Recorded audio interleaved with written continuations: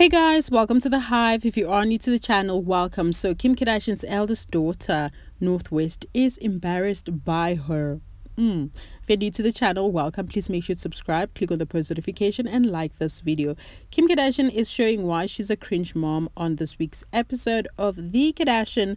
So, North West is not a fan of her mom, Kim, as she attempts to try out teen slang.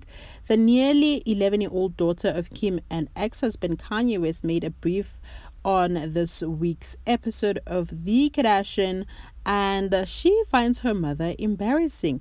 Noting that her kids think she's an embarrassment and a cringe mom, the Skims founder gives the example of her recent misuse of the term gyat. So, according to Kim, I quote, Gyat means a big bot. I got it off TikTok. Kim says, laughing, it makes you feel so old when you don't know what the slang words are.